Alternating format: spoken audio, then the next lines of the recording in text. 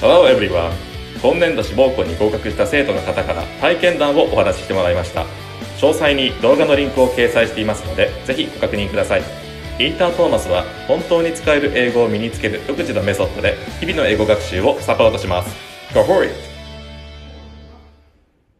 Hey guys, how's it going? So last time, the mighty Master Yoda faced down the evil Emperor, but even he couldn't stop him. It looks like things are finally over for our heroes and the Jedi Order itself. Padme gives birth to two babies, a boy and a girl. Before perishing from a broken heart, she names them Luke and Leia. A senator named Organa agrees to take Leia to Alderaan.